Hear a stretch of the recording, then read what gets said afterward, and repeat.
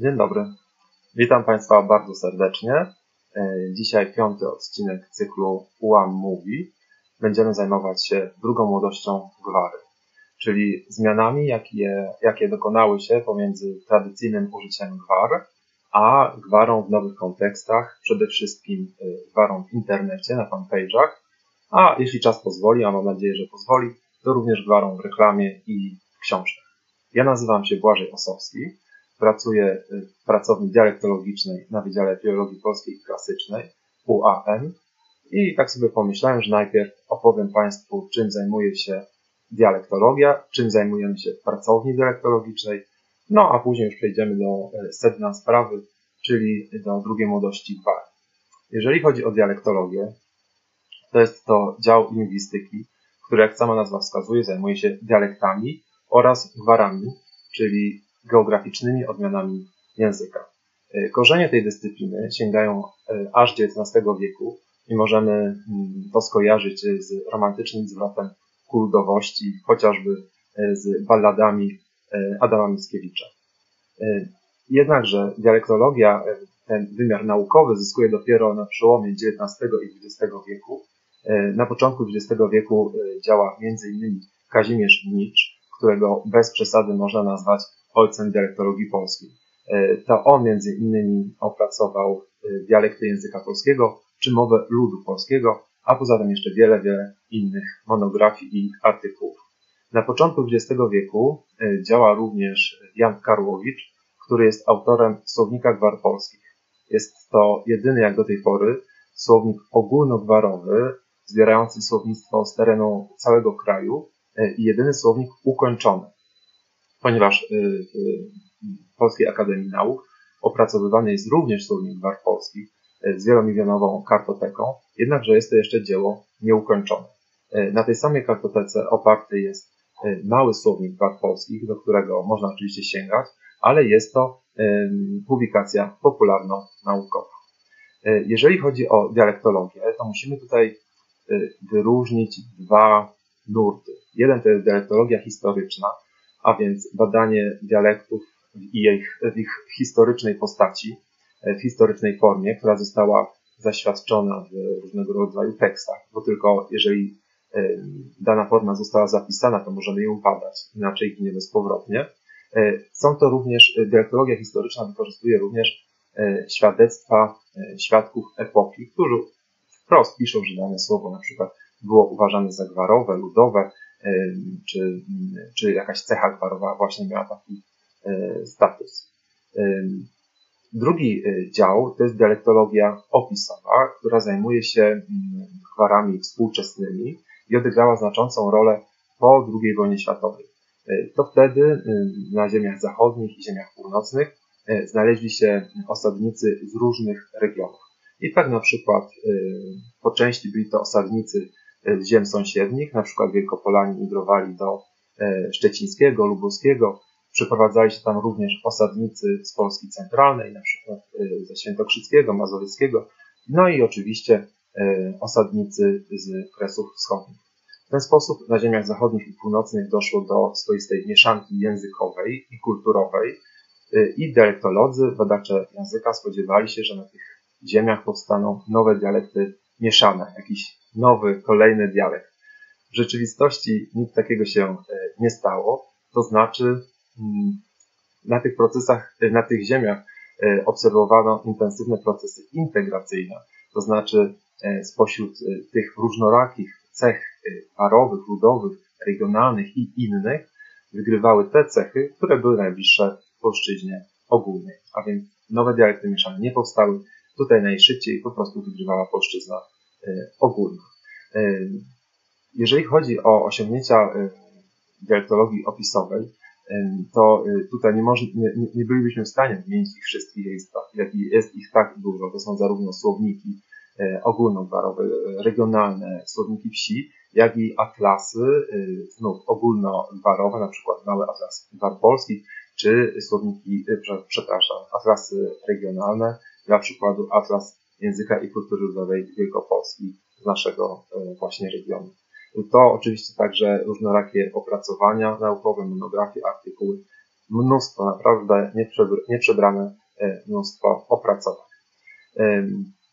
To chyba tyle, jeżeli chodzi o to, czym się zajmuje dialektologia ogólnie, czym się zajmujemy w pracowni dialektologicznej w Poznaniu. Przede wszystkim dokumentujemy współczesny stan war wielkopolskich i nie tylko wielkopolskich. Robimy to na podstawie kwestionariuszy tematycznych. Na ich podstawie nagrywamy rozmowę. Później ta rozmowa jest, jest spisywana, tak zwana, powstaje tak zwana transkrypcja, która jest podstawą do analiz, opracowania naukowego, różnego rodzaju słowników itd. Tak kwestionariusz tematyczny to jest zbiór pytań skoncentrowanych wokół jednego tematu. Na przykład, jeżeli kwestionariusz dotyczy Bożego Narodzenia, to mogą się tam pojawić pytania typu y, jak nazywa się y, wieczorny posiłek w dniu 24 grudnia i padają wtedy na przykład odpowiedzi Wigilia albo Gwiazdka, Kolejne pytanie może dotyczyć tego, kto przynosi prezenty 24 grudnia i w Wielkopolsce bardzo często odpowiedzią będzie Gwiazdor albo e, Mikołaj czy Święty Mikołaj. E, mogą się jeszcze pojawić inne odpowiedzi jak Aniołek czy e, Dzieciątko, a nawet Dziadek Mróz. I kolejne pytanie może na przykład dotyczyć tego, jakie są potrawy tradycyjne w czasie wieczerzy wigilijnej.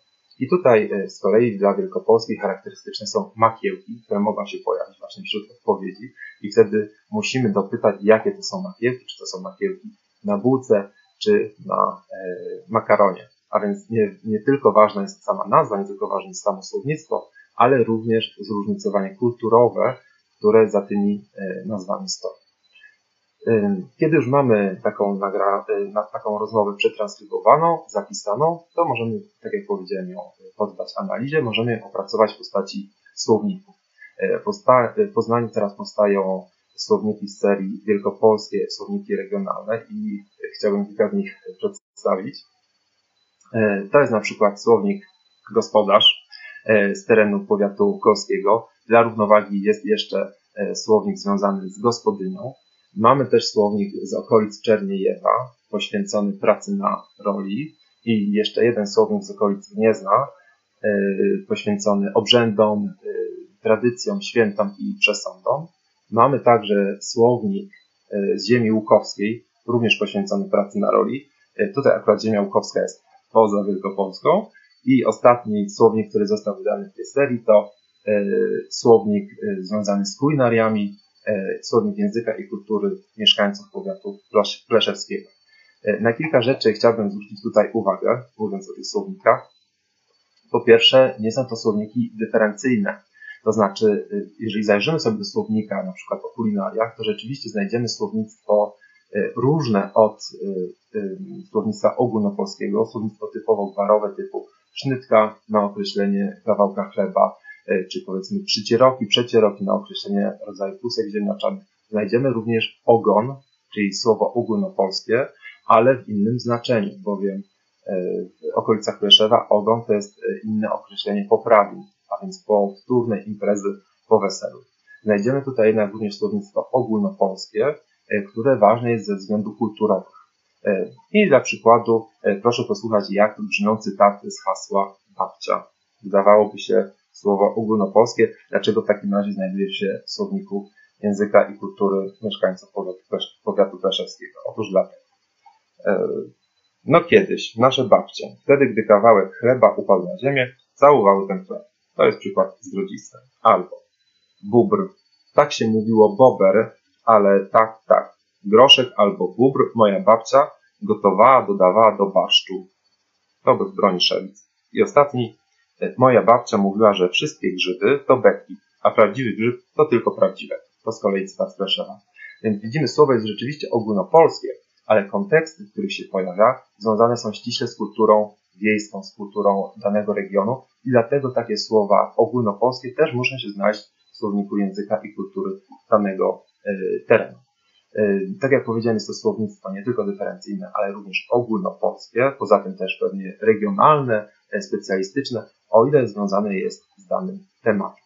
Mówiąc o słownikach e, w Wielkopolsce, muszę wspomnieć o jeszcze jednym słowniku, który co prawda nie należy do, e, do serii Wielkopolskie Słowniki Gwarowe, powstał już jakiś czas temu, ale dla Poznania i regionu jest bardzo ważny. Jest to oczywiście słownik Gwary Miejskiej Poznania, prawdziwy rarytas, słownik pod redakcją e, Moniki Gruchmanowej i Bogdana Walczaka, e, ale słownik ten e, dotyczy gwary miejskiej. Tymczasem te, które wymieniałem wcześniej, dotyczyły gwary wiejskiej czy też ludowej. Tutaj musimy właśnie zwrócić uwagę na to rozróżnienie. Mamy gwary miejskie i gwary ludowe albo wiejskie.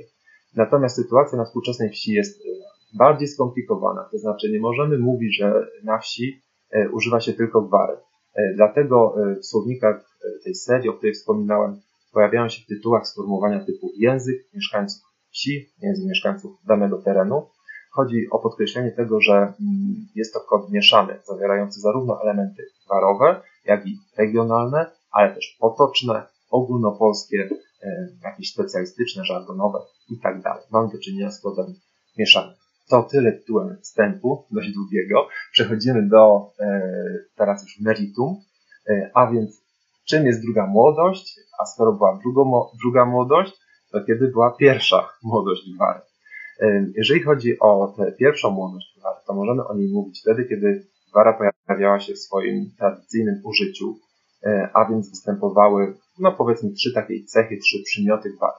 Pierwsza, e, pierwsza z tych cech to jest mówioność, a więc gwara występuje e, w użyciu tradycyjnym tylko w formie mówionej.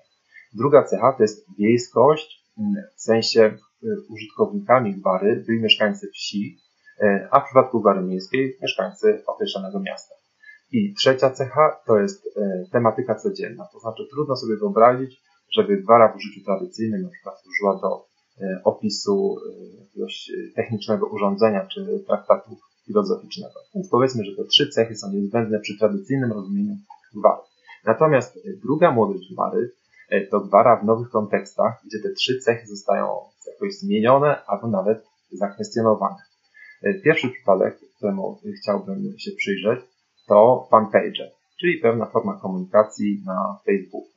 E, najczęściej e, na fanpage'ach mam do czynienia z różnego, z różnego rodzaju postami, postami, memami i komentarzami do. A więc jest to forma pisana. Ale pismo w komunikacji internetowej, komunikacji komputerowej działa na trochę innych zasadach niż znamy to z tradycyjnego, z tradycyjnej komunikacji pisanej, jak na przykład z książek.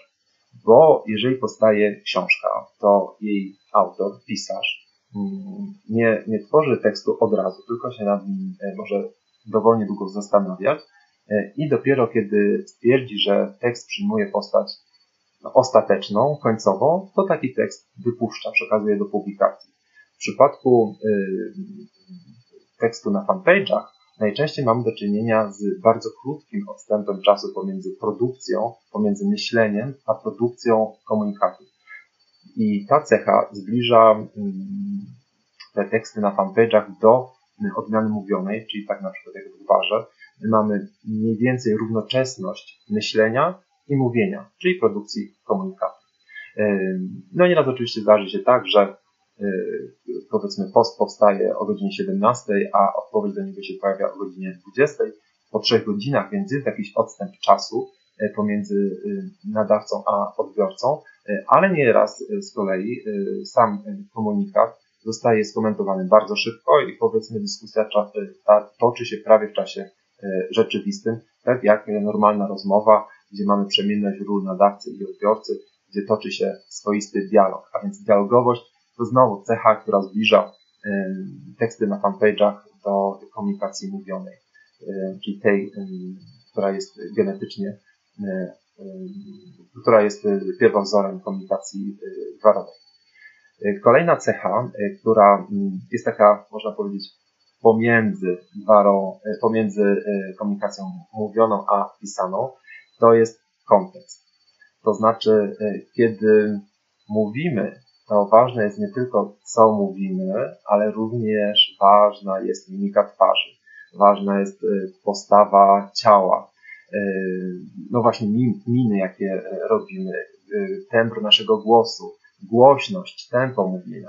W przypadku komunikatu pisanego te wszystkie elementy, które przynależą do komunikacji niewerbalnej są pomijane, nie ma ich jak za bardzo oddać. Chociaż oczywiście pewna namiastka się pojawia, kiedy dajemy e, różnego rodzaju uśmieszki, łezki, e, innego rodzaju emotikony, to próbujemy właśnie zastąpić element komunikacji niewerbalnej, oddać jej jakoś w komunikacji pisanej. A więc komunikacja pisana ogranicza kod niewerbalny, e, ale próbuje jakoś go zastąpić. Znowu mamy jakąś pośredniość pomiędzy komunikacją mówioną a pisaną. E, kolejna cecha, która wiąże się z kontekstem, to jest jednoczesność, mm, może inaczej, jedność czasu i mówienia w przypadku komunikacji mówionej. To znaczy, jeżeli mówimy, to musimy widzieć naszego rozmówcę, musi on być dostatecznie blisko, żeby mógł być nawiązany kontakt. W przypadku komunikacji pisanej wcale tak nie musi być. Tak jak mówiłem, komunikat może powstać o godzinie 17, a my możemy go odebrać po kilku godzinach czy po kilku dniach, a więc jedność czasu zostaje zerwana. Co więcej, zerwana zostaje również jedność miejsca, ponieważ komunikując się przez internet nie musimy przebywać w tym samym miejscu, a najczęściej nie przebywamy w tym samym miejscu, tylko jesteśmy oddaleni od siebie o znaczne odległości nieraz. E, I e, kolejna rzecz e, to mm, składnia tekstów mówionych. To znaczy, bardzo często składnia tekstów mówionych jest, no, najogólniej mówiąc, luźna. To znaczy, pojawiają się tutaj jakieś zdania niedokończone, niepoprawne pod względem gramatycznym, a jednak powinno to zrozumiałe, bo najważniejszy jest właśnie kontekst sytuacyjny. W przypadku komunikatu pisanego y, staramy się, przynajmniej powinniśmy się postarać, aby tekst był y, skończony, to znaczy poprawny pod względem gramatycznym i dzięki temu zrozumiały. I znowu, y, komunikacja na fanpage'ach jest gdzieś pomiędzy, to znaczy z jednej strony możemy się zastanowić nad tym, co piszemy i możemy odpowiednio zmodyfikować formę naszego komunikatu, ale to raczej taka teoria. Zazwyczaj jednak e, piszemy dość szybko, e, nie zwracając uwagi na literówki, nie zwracając uwagi na jakieś e, błędy składniowe. Chodzi o to, żeby szybko zareagować, szybko coś skomentować, a więc ta cecha znowu byłaby gdzieś pomiędzy komunikacją mówioną a pisaną. Jeżeli chodzi o mm, tematykę na fanpage'ach, no to nie jest to tylko tematyka wiejska, nie jest to tylko tematyka życia codziennego i użytkownicy fanpage'y to też nie tylko mieszkańcy wsi, a więc te wszystkie trzy cechy, o których mówiliśmy, że są ważne przy gwarze w tradycyjnym ujęciu, tutaj są w jakiś sposób zmodyfikowane, a niektóre nawet zakwestionowane. E, z tego względu na przykład Jan Grzenia uważa, że gwary nie mogą powstać w internecie, a z drugiej strony mamy przykłady różnego rodzaju fanpage'y. Dla przykładu kilka tytułów. Gwara góralsko-sklonego Podhola. Gwara zagłębiowska dla Ciućmo. Gwara pałucka jak piesiś nasze babusie i dziadusie godali. Albo Śląsko-Gotka dla Hamisów i Goroli. No, same te tytuły pokazują, że w jakiś sposób gwara czy elementy gwarowe w internecie się pojawiają. Kolejny przykład, tym razem z e, fanpage'a Górole Żywieccy, Gwara i Tradycja. Tutaj mamy tekst i obrazek do tego. Kapuśnica, cykwaśnica. A jako się uwo zgodo. Cy jest jako różnica. Napisojcie, skądeście są podzielcie się przepisami. Styczka siedzimy w chałupach, to pewnie ino ważycie. Co? I do tego obrazek właśnie wspomnianej e, zupy. E, tutaj widzimy pewne wyjście do odbiorcy, to znaczy autor e, posta próbuje nawiązać kontakt, zadaje pytania, spodziewa się odpowiedzi, komentarzy ze strony swoich odbiorców. I to jest jedna z podstawowych funkcji bary na fanpage'ach. Tworzenie wspólnoty ale jest to wspólnota innego rodzaju niż e, wspólnota gwary tradycyjnej. Przypadku gwary tradycyjnej e, wspólnotą, jest, e, wspólnotą są mieszkańcy danej wsi, danej miejscowości, którzy używają danej gwary. A więc ta geografia jest określona w sposób fizyczny, to znaczy wszyscy ci, którzy mieszkają w danej miejscowości, mogą się identyfikować z daną gwarą. Natomiast w przypadku gwary w internecie ta wspólnota ma charakter wyobrażony, bardziej symboliczny. To znaczy wcale nie musimy fizycznie przebywać w danej miejscowości, żeby identyfikować się z jej gwarą. Na przykład ktoś, kto lubi fanpage poświęcony gwarze poznańskiej, może mieszkać w Poznaniu, ale może równie dobrze przebywać w Warszawie, czy nawet poza granicami Polski. A więc y, geografia traci wymiar taki fizyczny, a zyskuje symboliczny, staje się właśnie takim symbolem, e, nabiera charakteru środowiskowego. Mówi się, że gwary się deterytorializują, to znaczy no w ogóle przestrzeń w internecie się deterytorializuje, czyli właśnie traci swój charakter przestrzenny, fizyczny, a zyskuje taki charakter środowiskowy, społeczny. Kolejna ważna cecha gwary na fanpage'ach to kategoria pamięci. To znaczy bardzo często wspomina się zapomniane słownictwo, mówi się o tym, że gwara jest dziedzictwem, mówi się o tym, że jest to kultywowanie mowy przodków. I to jest dość ciekawe, ponieważ badacze, socjolodzy, antropolodzy zauważają, że współczesne społeczeństwa są bardzo ztechnicyzowane, zafascynowane nowoczesnością, technologiami, a z drugiej y, strony prze, mm, przejawiają jakiś swoisty kult retro. To znaczy fascynuje ich czas i zjawisko przyszłości. Wszystko, co jest stare, nabiera jakiegoś, jakiejś takiej patyny i dzięki temu staje się właśnie wartościowe. Y, kolejny przykład właśnie z fanpage'a, który potwierdza y, tę teorię, pochodzi, kolejny przykład to fanpage dawniej tutaj, Wara Wielkopolska. Tutaj ponownie mamy miks tekstu i y, obrazu. Dziś tylko pyry, olej, śledzie, a przez kolejne 40 dni taki specjał. Ślepe ryby. Wielkopolska zupa ziemniaczana, ponieważ nie była gotowana na mięsie, nie zawierała ok tłuszczu, czyli była ślepa. Jeśli była zasmażką, nazywano ją ślepymi rybami z nerdyrdą. Y, I tutaj no to rzeczywiście jest zupa bardzo charakterystyczna dla Wielkopolski, ale teraz już bardzo rzadko przyrządzana.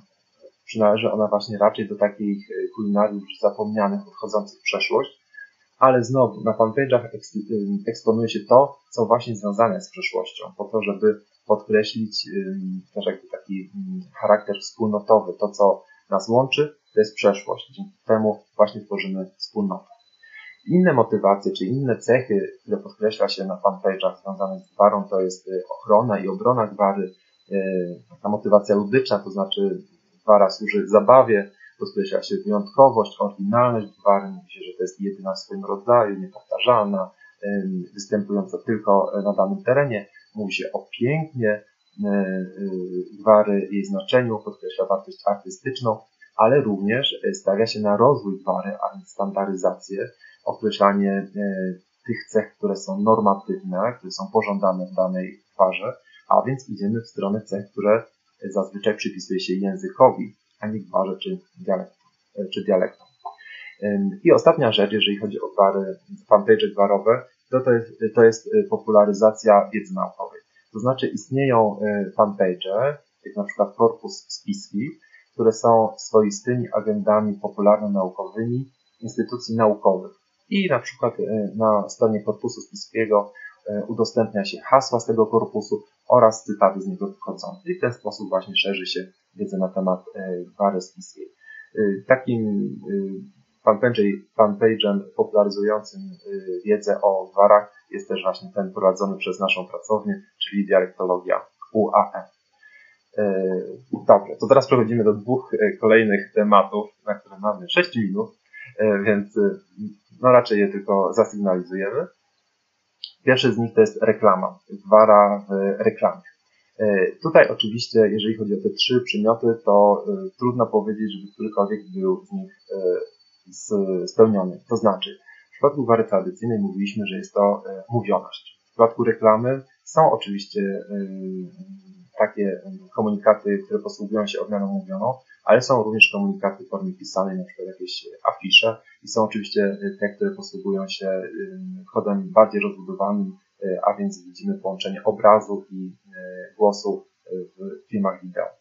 Jeżeli chodzi o wiejskość, czyli użytkowników wiejskich, no to tutaj reklama nie zawęża swojego grona odbiorców tylko do użytkowników związanych z wsią, ale chce trafić do jak najszerszego grona odbiorców. Raczej grupą docelową są mieszkańcy regionu, po prostu a więc zarówno mieszkańcy wsi, jak i miast. E, I trzecia rzecz, tematyka codzienna, to już w przypadku reklamy jest trudne do utrzymania, trudny warunek do spełnienia. Po prostu jest takie multum reklam dotyczących różnych e, dziedzin życia i różnych przedmiotów, e, że to zarówno mogą być, nie wiem, środki powiedzmy codziennego użytku, jak i jakieś luksusowe, a więc nie takie na pewno, które wiązalibyśmy z gwarą tradycyjną. Dla przykładu, jeden z serwisów aukcyjnych stworzył e, stronę poświęconą ogłoszeniom lokalnym i możemy tam znaleźć ten sam tekst w różnych wariantach językowych, w różnych wariantach gwarowych. Na przykład po poznańsku mamy, czy też w gwarze poznańskiej mamy. Nojdziesz tutaj ogłoszenia od sprawdzonych prywaciorzy. Wersja warszawska brzmi Znajdziesz afisze od chlawych pewniaków, nieprofesjonalnych handlujących. Wersja śląska. Znajdziesz sam ogłoszenia od sprawdzonych prywatnych przedowoczów. I pojawiają się tutaj takie słowa ogłoszenie, sprzedawca, w innych e, tekstach jeszcze transakcja, pieniądze, e, słownictwo związane e, albo z handlem, albo słownictwo abstrakcyjne, które nie przynależy do gwary, ale zazwyczaj było obsługiwane w środowisku wiejskim przez słownictwo ogólnopolskie. Więc wyzwaniem dla twórców takich komunikatów jest stworzenie odpowiedników gwarowych. Jest to nowe zjawisko, no, które, nowe wyzwanie, wobec którego staje gwara, no i użytkownicy chyba tutaj muszą ocenić, czy to wyszło dobrze, czy to wyszło, czy to jest do strawienia, czy to jest właśnie udatne wykorzystanie gwary w nowej przestrzeni komunikacyjnej, na przykład reklamie. Jaki cel jest takiej reklamy? No to świetnie pokazuje reklama społeczna, która od pewnego czasu jest emitowana i pokazywana w Poznaniu i zachęca poznaniaków do sprzątania. Pojawiają się tam m.in. plakaty z hasłami nie bądź szuszwoltej, czyli nie bądź brudasem. Plastik ćpnij w pieruny, czyli wyrzuć plastik porządnie, zdecydowanie. E, ich kolejne hasło porządnie śwignij na genyle, a nie byle jak, czyli wyrzuć porządnie na śmietnik, a nie byle gdzie, nie byle jak. I tutaj znowu mamy odwołanie się do e, tego stereotypu poznaniaka, do e, też pewnej, do kreowania pewnej wspólnoty. Ci, którzy mówią gwarą, mają też cechy stereotypowego poznaniaka, między innymi umiłowanie porządku, e, gospodarność i oszczędność. W Poznaniu mówi się, że porządek musi być i właśnie do tego zapewne odwołują się twórcy reklamy, chcąc przekonać, e, przekonać poznaniaków, żeby dbali o ład i porządek w swoim otoczeniu i po to właśnie wykorzystywana jest e, tutaj gwara. A więc ponownie eksponowanie tych wartości symbolicznych, głównie związanych ze wspólnotowością. Gwara w reklamie to jednak nie tylko kod nie tylko język, za pomocą którego się do nas przemawia, ale też y, towar. O czym świadczą na przykład reklamy swego czasu kolejorza, który proponował karnety biletów na swoje mecze. I te karnety były nazwane wyglancowane, akuratne, z knyfem na szagę. Jeden z browarów nazwał swoje piwa na przykład Royber Szczun Ściągwa. A więc wara jest tutaj swego rodzaju towarem, przedmiotem, który można sprzedać. Y, no znowu, jako jest to dość nowe wyzwanie, przy którym stanęła gwara, nowa sytuacja, w której jest używana y, i jej użytkownicy muszą sobie odpowiedzieć na pytanie, czy to im się podoba, czy to im się nie podoba. Y, no i zobaczymy, jaką drogą to pójdzie. Ostatnia rzecz, o której chciałbym już wspomnieć tylko, to są książki i gwara funkcji artystycznej. Tutaj mamy dwa przypadki. Z jednej strony to jest stylizacja gwarowa, tak zwana dialektyzacja.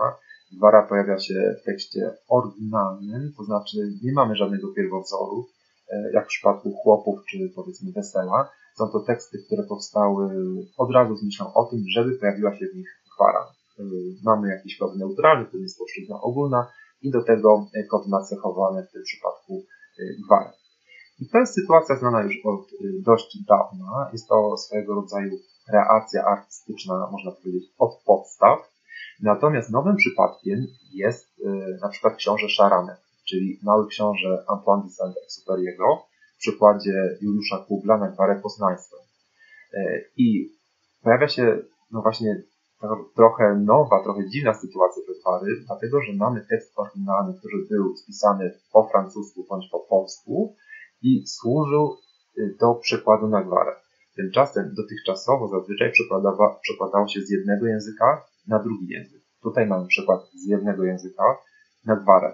Znowu nowa sytuacja, bardzo trudna, bo przecież książę Szaranek, mały książę, to yy, ma swoisty traktat filozoficzny yy, i przekazanie tej treści jest no, czymś nowym tak jak mówiliśmy wcześniej, gwara tradycyjna przede wszystkim była skupiona na tematyce życia, życia codziennego, a tutaj się pokazuje, okazuje, że musi y, stanąć wobec oddania treści filozoficznych, co wiąże się chociażby z używaniem słownictwa abstrakcyjnego, a więc takiego, które rzadko pojawia się w gwarze.